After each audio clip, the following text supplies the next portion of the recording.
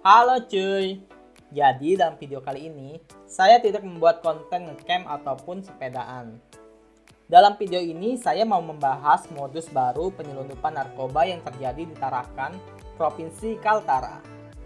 Mengapa saya bahas hal ini? Karena saya yang berprofesi sebagai jurnalis sempat mengikuti pemusnahan narkoba jenis sabu dalam bentuk cair.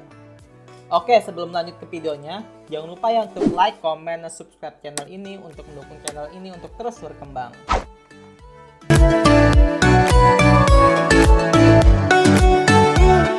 Jadi pada hari Kamis tanggal 24 September, saya mengikuti proses pemusnahan narkoba jenis sabu.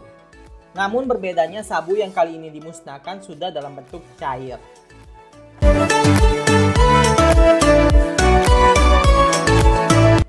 Untuk kasusnya sendiri terungkap ketika Absek Bandara Juwata Tarakan di SCP-1 mencurigai seorang pria berinisial FS membawa dua botol air mineral yang di dalamnya ada butiran-butiran kristal. Namun pria tersebut memastikan bahwa air mineral tersebut merupakan air mineral biasa dengan cara meminumnya. Setelah pria tersebut membuktikan bahwa air mineral yang dibawa itu merupakan air mineral biasa, petugas absek pun mempersilahkan pria tersebut melanjutkan check-in dan menuju ke SCP-2 sebelum masuk ke ruang tunggu. Di SCP-2, petugas absek kembali mencurigai air mineral tersebut. Namun belum sempat diperiksa, tiba-tiba pria tersebut mengalami kejang-kejang dan akhirnya meninggal dunia. Pria tersebut diduga meninggal dunia karena telah meminum air mineral yang ternyata setelah dicek merupakan narkoba jenis sabu yang sudah dicairkan. Pihak Bandara Juwata Tarakan lantas menghubungi BNN Provinsi Kaltara yang mana dalam pengembangan kasus tersebut berhasil mengamankan dua orang pria lainnya yang berinisial AK dan SS yang diduga kuat terlibat dalam kasus kali ini. Dari penjelasan Kepala BNN Provinsi Kaltara, Brigjen Pol Henry Parligoman Simanjuntak, upaya penyelundupan narkoba jenis sabu yang sudah dicairkan merupakan modus baru yang ditemui di Kaltara. Berikut penjelasannya.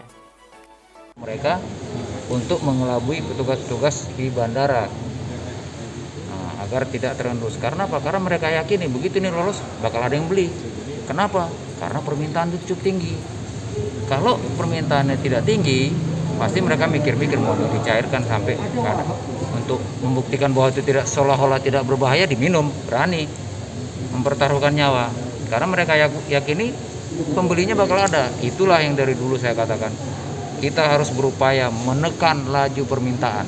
Persoalannya laju permintaan ini masih tinggi peredaran ataupun supply pasti pasti tertinggi gitu.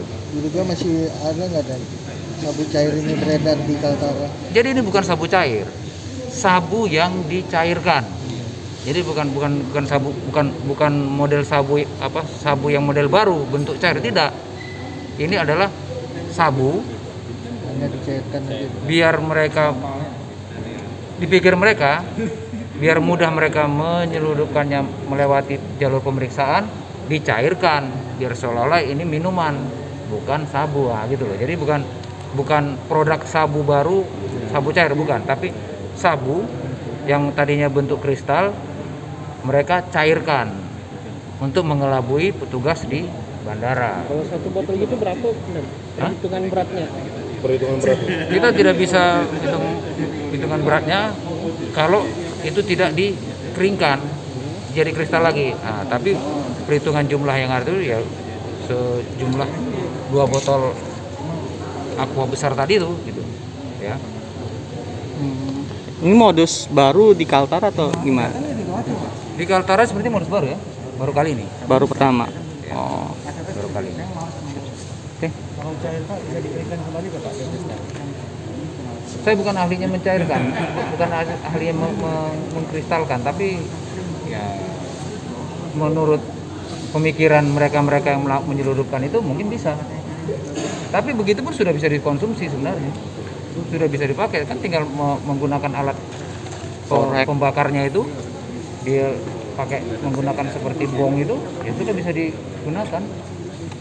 Gitu. Tidak perlu sebenarnya harus dicairkan harus di eh, tidak perlu harus dikristalkan dulu baru digunakan. Begitu juga sebenarnya sudah bisa.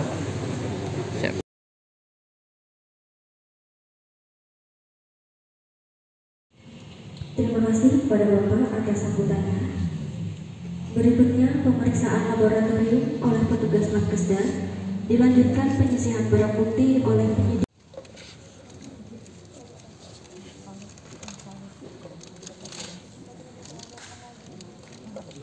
Setelah dilakukan pengetesan, eh, sampel 1 dan sampel 2 positif mengandung zat yang diduga. Eh, jadi positif Pak ya.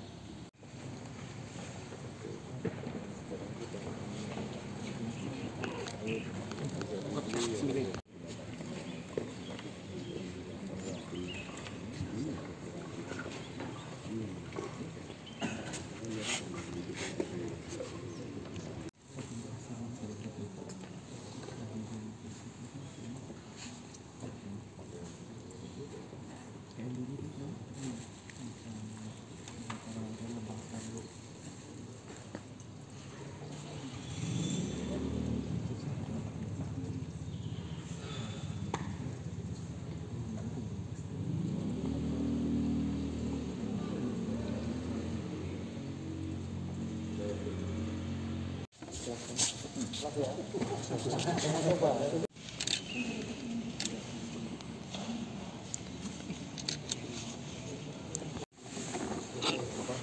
Imut.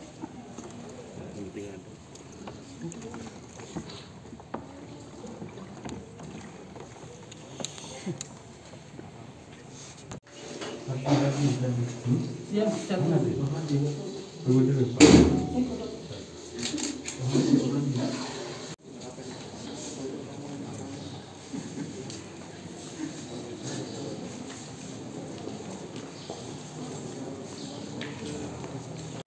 Demikian dulu video kali ini. Semoga bermanfaat.